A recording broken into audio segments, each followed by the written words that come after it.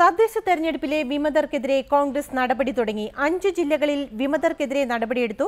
അതേസമയം കോൺഗ്രസ് വിമതർക്ക് തെരഞ്ഞെടുപ്പിൽ നിന്ന് പിന്മാറാൻ ഒരവസരം കൂടി നൽകാൻ തയ്യാറാണെന്ന് മുഖ്യമന്ത്രി ഉമ്മൻചാണ്ടി പറഞ്ഞു. കണ്ണൂർ കോർപ്പറേഷനിലെ അമ്പത്തിനാലാം ഡിവിഷനിൽ വിമതനായി മത്സരിക്കുന്ന പി കെ രാഗേഷ് അടക്കമുള്ള ആറു പേർക്കെതിരെയാണ് ഡി സി സി നടപടിയെടുത്തത്. ഇവരെ ആറു വർഷത്തേക്ക് പാർട്ടിയിൽ നിന്ന് പുറത്താക്കി. എന്നാൽ മൂന്ന് വിമതർക്കെതിരെ നിലവിൽ നടപടിയെടുത്തിട്ടില്ല. പാർട്ടി തീരുമാനം അംഗീകരിക്കുന്നവർ മാത്രമേ പാർട്ടിയിലുണ്ടാകൂ.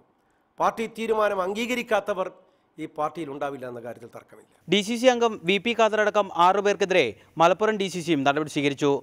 മാറാക്കര കൊണ്ടോട്ടി ചെറിയമുണ്ടം എന്നീ മണ്ഡലം കമ്മിറ്റികൾ പിരിച്ചുവിടാൻ D C C K P C സിക്ക് ശുപാർശ നൽകി. വഴിവിട്ട് യു ഡി എഫ് നിന്ന് വ്യ- വ്യ- വ്യത്യസ്തമായി കൂട്ടുകെട്ടുകൾ ഉണ്ടാക്കിയെടുത്താണ് നടപടി.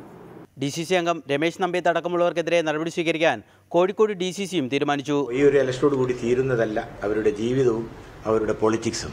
അപ്പോൾ അതുകൊണ്ട് ഞങ്ങൾ അവരോട് ഒരു വട്ടം കൂടി സംസാരിച്ച് നിങ്ങളും ആഗ്രഹിക്കുന്നത് അവരൊക്കെ തന്നെ മുഖ്യധാരയിലും കോൺഗ്രസിലും ഉണ്ടാകണമെന്നാണ്.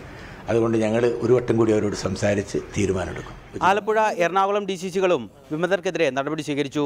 റിബലുകൾക്കെതിരെ കടുത്ത നടപടി സ്വീകരിക്കുമെന്ന് മുഖ്യമന്ത്രി ഉമ്മൻചാണ്ടിയും വ്യക്തമാക്കി. ഔദ്യോഗിക അംഗീകാരമില്ലാത്ത സ്ഥാനാർത്ഥികൾ ആരെങ്കിലും വന്നാൽ അവരുടെ പേരിൽ നടപടി K P C C president ഇന്നലെ ആവർത്തിച്ചിട്ടുണ്ട്. അത് പൂർണമായും നടപ്പിലാക്കും. News desk reporter